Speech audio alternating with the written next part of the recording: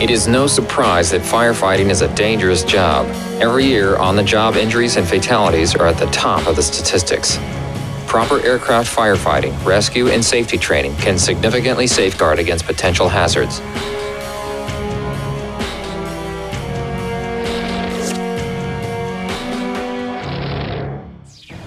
Civilian and military aircraft can create hazardous conditions not normally encountered by firefighters in off-airport emergencies. These can include sudden and powerful explosions from pressurized systems and highly combustible liquids to treacherous terrain or slick tarmac surfaces. There's also the danger of exposure to toxic chemicals, hazardous cargo, and with military aircraft, the danger of live weapons. The stress on emergency responders at the scene of a traumatic aircraft event can be exhausting and overwhelming. Professional, peer supporters, chaplains, and mental health professionals should be on hand to provide one on one crisis intervention for emergency personnel showing signs of distress. All protective equipment and clothing has limitations, it is important to understand and not exceed the capabilities of protective equipment. Firefighters who may be exposed to proximity firefighting, such as fuel spill fires that generate high radiant heat, are required to use the proper protective clothing for proximity firefighting.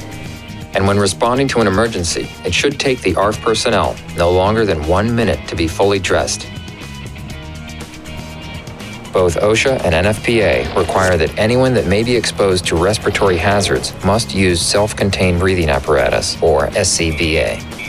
Because the lungs and respiratory tract are more vulnerable to injury than any other part of the body, ARFF personnel should not be allowed to participate in any firefighting activities without SCBA. Several companies manufacture SCBAs with different features, construction, and operation, but firefighters are required to use the positive pressure, open circuit, self contained SCBA. All ARFF vehicles should have adequate breathing apparatus and spare cylinders available for the number of firefighters that could be assigned to ride on that vehicle.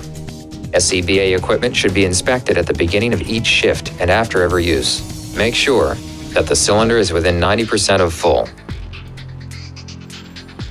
that all gauges work, and that the cylinder and remote gauges are within 100 psi of each other, that the low pressure alarm sounds briefly when the cylinder valve is turned on and again when the pressure is relieved, that the facepiece and harness are in good condition and the harness straps are fully extended, that the valves are operational and bypass valve is fully closed, and that the pass alarm sounds after 30 seconds of non-movement and when triggered manually. It is also important to know how to react when something goes wrong with an SCBA system. Exhausted air supply cylinders are normal, but firefighters should practice changing out each other's cylinders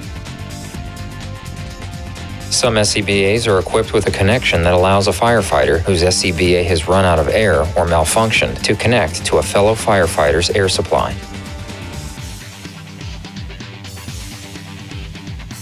If the regulator malfunctions, the bypass valve will permit unregulated airflow to the firefighter. However, certain malfunctions, such as damaged hoses or face pieces, cannot really be worked around. Firefighters should immediately leave the incident scene and change out their equipment. Because of the nature of aircraft incidents, all ARFF responders should have current first aid and CPR certifications. Most incidents where the fire service provides medical assistance involve one to five patients. In the event of a large passenger aircraft disaster, multiple casualties and traumatic injuries can overwhelm initial responders, as well as the entire medical system. Most jurisdictions have a multi-casualty incident plan in place to manage a large-scale incident leaders are assigned to manage medical, ambulatory, and other teams. In this kind of situation, the fire service will be heavily involved in the rescue, triage, treatment, and transportation of the injured. In any aviation emergency, the bottom line for the fire service is to save lives and help the injured.